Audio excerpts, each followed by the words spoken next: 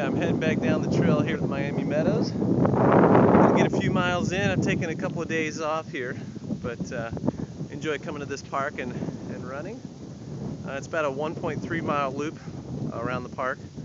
Um, so I'm meeting my buddy Matt here to go for a little run. So getting ready to head down this trail. And uh, might be one of my last runs to uh, to wear the shorts. The legs are feeling a little bit chilly, so I might have to get some more for the legs. But uh, well, I'll check back in with you after it's over. And, uh, brush the icicles from my nostrils. So we'll see. All right, but it's a beautiful day. The sun's shining, so let's enjoy it.